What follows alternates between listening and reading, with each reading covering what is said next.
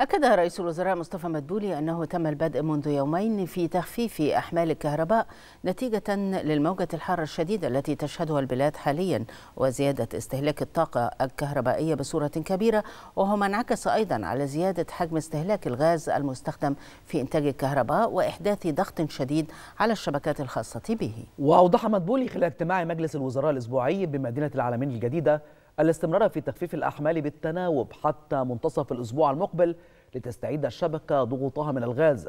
وأكد مدبولي أن الارتفاع الشديد في درجات الحرارة أحدث تأثيرات كبيرة على عدد على عدد من الدول المختلفة مشيرا لأهمية الاستمرار في تنفيذ الإجراءات المختلفة التي من شأنها أن تسهم في ترشيد الاستهلاك من الكهرباء بوجه عام وفي الوقت نفسه. أكد رئيس الوزراء استمرار جهود الحكومة لاستكمال تنفيذ برنامج الطروحات الحكومية الذي يأتي في إطار توجه الدولة نحو تعزيز ودعم مشاركة القطاع الخاص في مختلف الأنشطة الاقتصادية.